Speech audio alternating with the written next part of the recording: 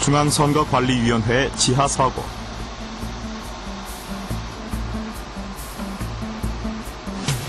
이곳은 지난 세 번의 지방선거에 출마했던 모든 후보들의 약속들이 고스란히 남아있다.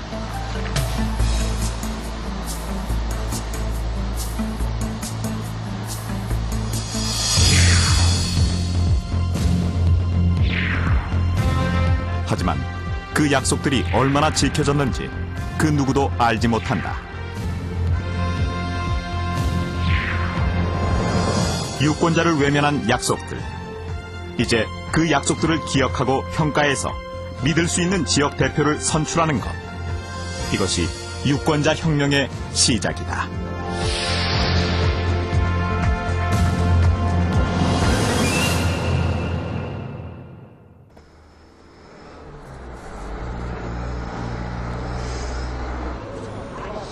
지방의 한 중소도시. 선거를 두 달 앞둔 이 지역 주민들의 시선이 곱지만은 않다. 택시기사 강 씨도 마찬가지다. 1년 전 시장이 뇌물수수 혐의로 사퇴한 후 시장 자리는 여전히 비어 있다. 이제 막 플래카드 걸리기 시작했네요. 예. 인물들 아주 잘나네요. 왜 당황하셨어요? 5천만 원을 쓰면은 뭐 선거에 되고 예. 1억 쓰면 사무에 되고 그런다는 소리가 들리는데 도중에 낭만을 한번 하고 나 이제 하고 나니까 사람들이 거기에 신경을 안 쓰더라니까요. 어, 응, 어떤 사람을 뽑으면 뭐 어떨 것이냐. 시장에게 걸었던 그의 기대는 허무하게 무너졌다. 아, 생각해 보세요. 하루에 평균 버는 수입이요.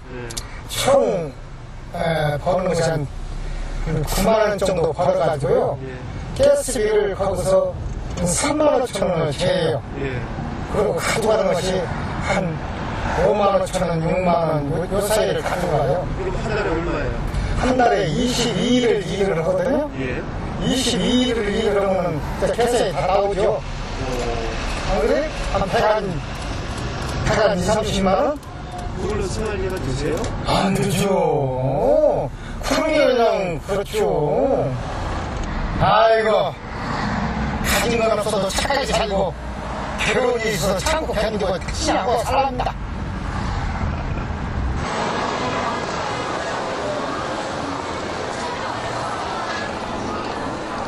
따뜻한 봄 기운을 맞으며 시내로 나선 젊은 유권자들의 목소리에도 지방선거에 대한 불신은 그대로 묻어난다.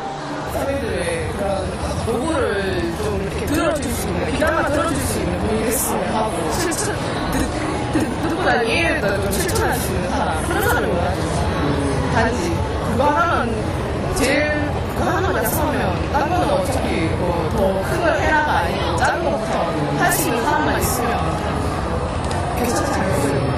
공약이 100%다 제대로 된다고 생각하면 그러면 우리고요. 현실적으로 불가능하다고 생각하고 일단은 공약을 들었을 때 스스로가 감안을 해서 듣는 시민들이 다 그렇게 듣잖아요.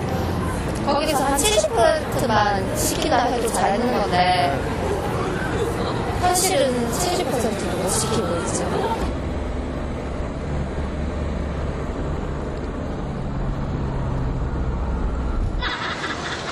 서민들의 애환이 그대로 묻어나는 자갈치 시장. 밤늦은 시간까지 그대로 쌓여있는 해산물들이 이곳의 불황이 얼마나 심각한지 보여주고 있다. 경기는 어, 10분의 1 생각도 못 합니다. 그렇게 안 되지요. 지금 우리가 일을 하니 못하니 지금 입항구가 형편없습니다. 그 정도지 심각합니다. 이 부산 사람들이. 지금요, 어, 젊은 대학생들이 뭐고, 여기 세복에 와가지고, 우리가 또 밤에 하거든, 일을. 세복에 와가지고, 일할 자리 좀 말해달라고 하고, 가슴이 미어질 듯 아픕니다, 젊은 사람들 보기에. 다 우리 못난 탓이고, 우리가 그리 만들어놨다요, 젊은 사람들한테 고생하고. 자갈치에서 30년 참뼈가 굵은 이 씨. 공약 얘기를 꺼내자 대뜸 화부터 낸다. 약속 지키는 사람 먹었어요. 약속 지키는 거 봤는겨. 요요 밥으로 먹어서 약속을 지키지 말라고. 똥물로 갈 때는 바쁘고 똥물로 오면 많이 똥을 언제 떠나 약속 필요 없는 거라 다 그렇게 해왔기 때문에 그걸 애서를 여기는 거다. 이 말 한마디 이거를 책임을 져야 되겠다. 어떻게 해야 되겠다. 그거 마음만 있어도 그렇게 행동을 호락호락 안 하고 말은 필요 없는 거다. 말은 세상 알면 다 그런 식으로 다 말을 할 줄 압니다. 말이 필요 없고 행동을 옮기는 그게 최고로 알아주지. 말 필요 없어. 입에 발린 소리 말라고 하노.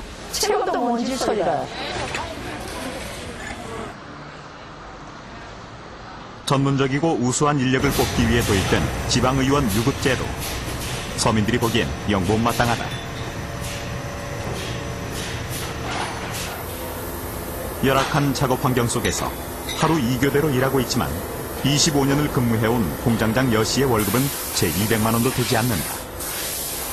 앞으로 방송에 보니까 일곱 대를 한다 하는데, 그, 보면은, 저희들 같은 경우는, 이 기술 직접 25년 가까이 근무를 했는데, 그 연봉이 2,500, 힘듭니다.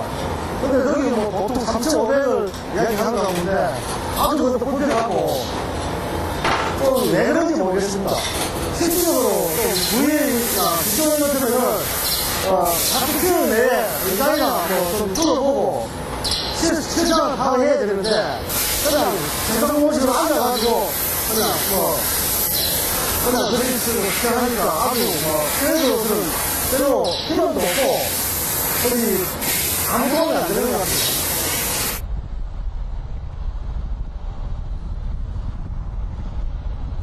많이 잡으셨어요? 삶의 터전이었던 바다. 그러나 할머니들은 이 터전을 잃어버리게 됐다. 언제 나오셨어요, 오늘? 간척으로 인해 바닷길이 막히면 그나마 생계를 이어주던 조개잡이도 이젠 그만둬야 한다. 조금. 오늘은 많이 전에는 보려 2만 원씩 벌어. 하루 죽었다고 걔네도 2만 원씩. 하나만 더 장에서 가져가요. 어, 그럼 어떻게 이렇게 하셔가지고. 소금을 막 해야지. 아, 그러군요. 네. 이게 이제 하도 무시 없은 게로 것도 여기다가 지금 못 대고는 못 살아. 어쩔 수 있어. 먹을 것도 없고 이제 논다고 지금 와서.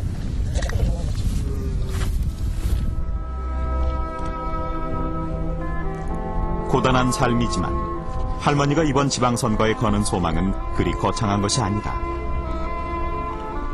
그저 입에 풀칠할 벌이라도 생겼으면 하는 바람이다.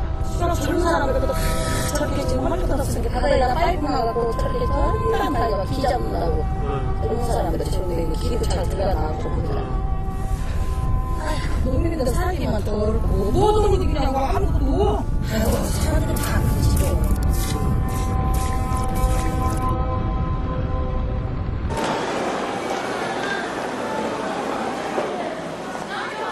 취재진은 지방선거를 두 달 앞둔 민심의 현장에서 이번 선거에 대한 유권자들의 다양한 목소리를 들었다.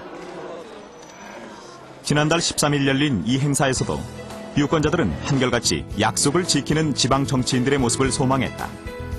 이 바람은 지난 11년의 지방자치를 단적으로 보여주는 것이기도 했다.